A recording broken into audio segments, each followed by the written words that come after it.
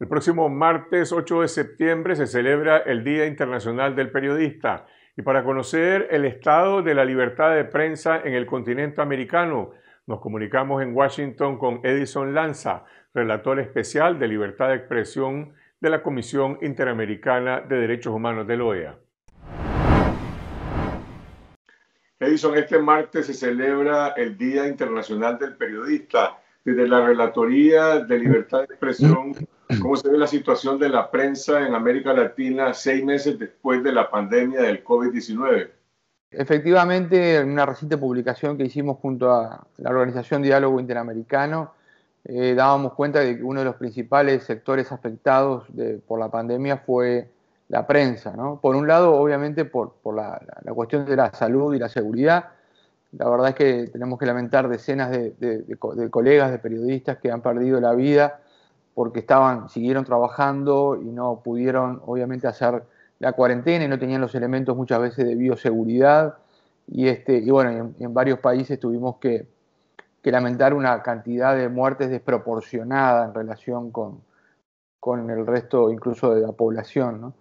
En segundo lugar, porque los gobiernos aprovecharon esta situación, no todos, pero algunos claramente. En el caso de Nicaragua está muy claro que pasó así, en el caso de, El Salvador, en el caso de, Brasil, en el caso del gobierno interino de Bolivia, Venezuela, por supuesto, eh, para apretar la, digamos, este, la mordaza ¿no? y para, generar elementos de, persecución, de censura, de criminalización este, lo cual determinó también un número que no veíamos desde hace mucho tiempo de periodistas en distintos países detenidos, procesados, sometidos a procesos por figuras penales novedosas como bueno, incitar contra este, la salud o este, desinformar sobre la situación de salud. Eh, y en tercer lugar, porque eh, también, eh, digamos, y esto sí me parece también muy preocupante, todo lo que ha avanzado la región en materia de acceso a la información y transparencia, en algún sentido estuvo en riesgo en algunos países por medidas de restricciones vinculadas al derecho a la información, a la falta de información sobre la pandemia o a la falta de respuesta de pedidos de información. Venezuela y Nicaragua aparecen siempre en los informes de la relatoría como dos de los países con mayores restricciones a la libertad de prensa en el continente. ¿Hay alguna diferencia entre Maduro y Ortega o la respuesta de la prensa nicaragüense y venezolana en esta crisis? Yo creo que, bueno, diferencia de instrumentos, ¿no? No diferencia en cuanto a la vocación de, digamos, de controlar el mensaje o de reprimir, ¿no? Este, creo que en el caso de Venezuela se aprobó hace mucho tiempo atrás, ya dos años y medio, una llamada ley contra el odio, este, en esa asamblea constituyente que, de, dudosa legitimidad, pero, pero que se puso en marcha por parte de los tribunales, este, que, le da una herramienta muy, muy amplia y ambigua, digamos, para perseguir a quienes informan sobre las protestas este, vinculadas a, los problemas de salud, a la falta de alimentos o de gasolina, por ejemplo, eh, o en el contexto de la pandemia. Entonces tuvimos como una, eh, en Venezuela, como una epidemia, digamos, de, periodistas detenidos sometidos a procesos con procesos abiertos, eh, entre 15 casos, en todo el país. Este, y obviamente, bueno, luego persecuciones en, la protesta a, quienes registran, en fin. Este, y en el caso de Nicaragua creo que, primero hubo una retórica ¿sí? de persecución a la prensa y luego se activaron, y aquí creo que sí se puede estar copiando el modelo, se activaron, digamos, por, primera vez en muchísimos años, porque no teníamos registro anterior en Nicaragua, eh, los procesos penales, ¿no? Es decir, y, ya tenemos tres o cuatro procesos penales de, el gobierno, de funcionarios o de partidarios del, gobierno contra periodistas, ¿no? Y aunque eso parece ser menos agresivo que, bueno, que la represión directa, que una detención arbitraria o que una, un hecho de violencia, eh, siempre hay que recordar que para un periodista, digamos, por hacer su trabajo, estar sometido a la posibilidad de perder la libertad y a tener que contratar abogados para defenderse y todo lo demás, es este, obviamente un costo eh, absolutamente, digamos, este, que no debería ocurrir, un costo inconcebible en ese sentido. Desde tu visita a Nicaragua con la misión de la CIDH en mayo de 2018 a la fecha, ¿aprecias que ha existido algún cambio en las condiciones de, para el ejercicio del periodismo en el país? Primero yo creo que este, Nicaragua está en una suerte de transición este, de un gobierno obviamente autoritario, un régimen eh, antidemocrático, a, bueno, a, la búsqueda de, democracia, del regreso a una normalidad democrática. ¿no? Entonces ese es un contexto ineludible, Uno no, es simplemente este, que hay un gobierno que eh, avanza, ¿no? es decir, sobre libertades, sino que hay una eclosión, por suerte, de activismo, de, periodismo, cantidad de, sitios que hay, y, yo creo que los periodistas nicaragüenses se han ganado ese espacio, y claro, es un régimen que, la única respuesta muchas veces que tiene es buscar eh, reprimir, silenciar, etc. Entonces, en ese tire y afloje, o en ese ida y vuelta, este, bueno, creo que hay como pequeños ciclos, ¿no? Eh, y me parece que ha mejorado si uno lo mira eh, con la situación más extrema posterior a abril este, del 18, digamos, con, la represión como sistemática, ¿no? Es decir, y hoy me parece que es un aspecto, una forma más selectiva eh, de, bueno, de tratar de, neutralizar a periodistas que son independientes, que, que tienen audiencia, que se vuelven críticos. Entonces estamos viendo, bueno, estos procesos penales puntuales, ataques a páginas web, eh, narrativas, etcétera. Pero mientras tanto también creo que como positivo ustedes siguen desempeñando un papel fundamental. En Cuba este viernes se liberó al periodista Roberto Quiñones, estuvo un año preso por intentar cubrir un juicio que se había desarrollado contra dos pastores religiosos porque intentaron educar a sus hijos en casa. Hay más periodistas presos en Cuba. Este sería un caso extremo en el continente latinoamericano.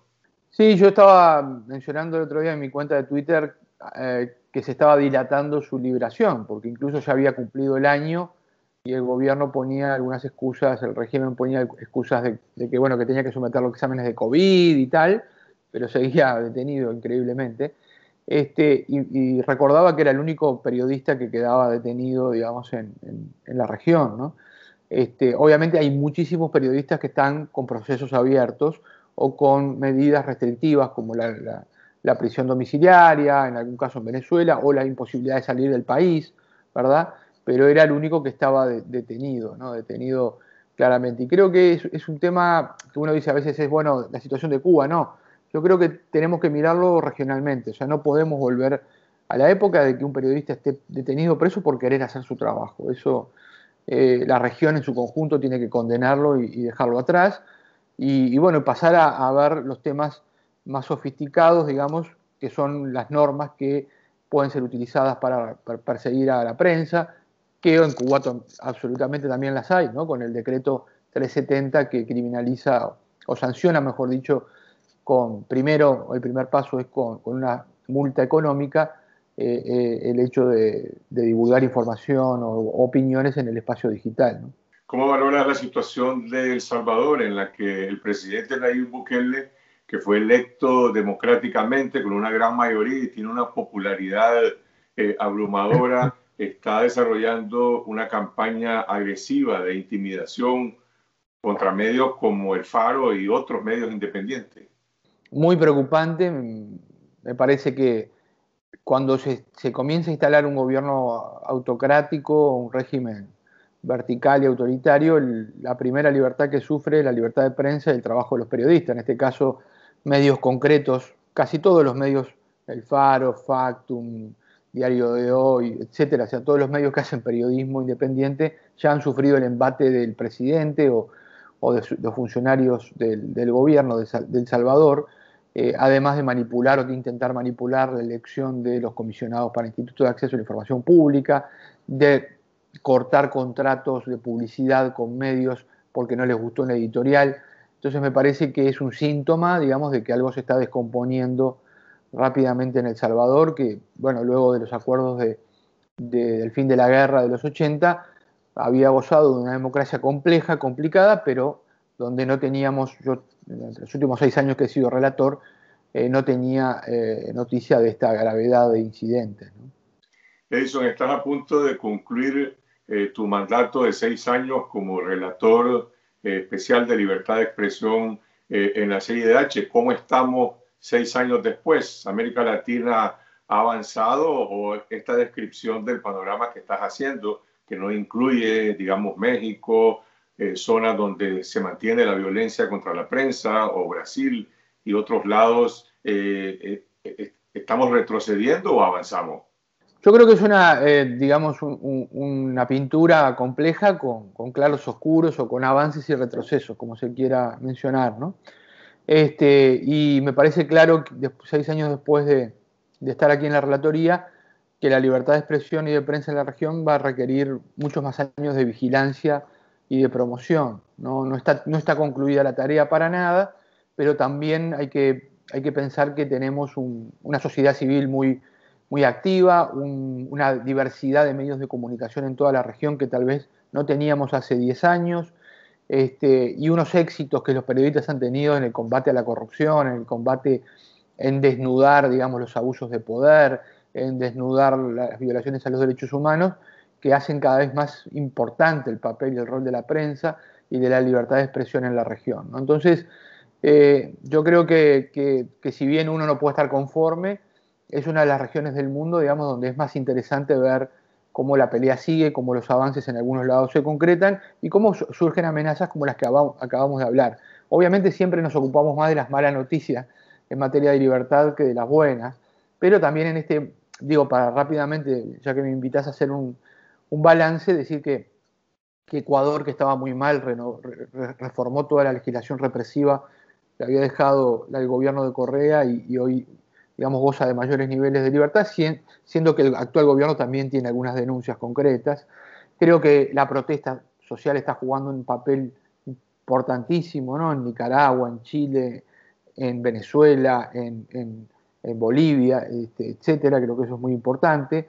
Eh, me parece que Argentina, que era un país que también tenía complicaciones, ha entrado en una situación de mayor normalidad, sin perjuicio de que, bueno, también hay nuevos temas de agenda, creo que el tema de espionaje digital este, pasa a ser un tema hoy cada vez más importante, o de acoso digital, este, lo, estamos viendo también en Colombia, también en Argentina y en otros países, eh, bueno, el asunto de la violencia contra periodistas en México, este, pero tal vez, digamos, este, un signo de optimismo es pensar que que bueno, que tenemos herramientas para enfrentar esas, esas amenazas. ¿no? Y obviamente todo esto con un gran paraguas, un nuevo paraguas que es la narrativa antiprensa de los líderes populistas, autoritarios. ¿no? Este, mencionabas a Bukele, pero tenemos que también poner en, este, eh, en, esta clasificación, digamos, a, Bolsonaro o a Trump o a los Ortega Murillo, ¿verdad? Que utilizan la narrativa, digamos, de incitación contra la prensa con distintos adjetivos para, para descalificarle y demás, y eso puede tener otras consecuencias. ¿Y cuál es la situación actual de la CIDH en la crisis que está planteada cuando el secretario general no ha renovado el mandato del secretario ejecutivo de la CIDH, Pablo Abrao? ¿Hay alguna clase de negociación? Bueno, yo personalmente hice un llamado a, la negociación, a tramitar esta situación de manera diligente y, yo diría también con cierta este, prevenciones de lo que se dice en redes sociales, ¿no? Yo creo que tenemos una alta responsabilidad, somos todos funcionarios públicos con, con un deber y con un mandato y tenemos que rendir cuentas, me parece que eso es esencial, este, pero, pero no puede utilizarse una situación de este tipo para este, de algún modo disminuir o poner en tela de juicio todo lo que hacemos todos los que trabajamos en la CIDH. ¿no? Este, es un trabajo, creo que yo, maravilloso que en los últimos 5 o 6 años se han hecho. Hemos estado muchísimo más eh, visitas sin loco que antes, hemos hecho muchos más trabajos y informes, hemos acompañado a la sociedad civil, a ustedes les consta, este, y me parece que si hay un grupo de personas que hace una serie de denuncias o un ombudsman que hace un informe, pues bueno, hay que arbitrar las, las, este, las medidas garantistas, porque somos un, un, justamente un organismo de derechos humanos y una organización que defiende derechos, para que se tramiten con garantías para todas las partes, para quien siente que tuvo, vivió, padeció una arbitrariedad, una violación, y para quien es este, en buena medida acusado. Y bueno, como hay tantas este, eh, formas que hay en el derecho administrativo, digamos, de algún modo, de manejar esto con, con, las, con las garantías y luego que se resuelva, bueno, rendir cuentas y ver si hay una persona que ha tenido un papel destacado en la gestión de la CIDH, digamos, este, puede continuar o no, en fin, me parece que, que por ese lado se puede llegar a una solución.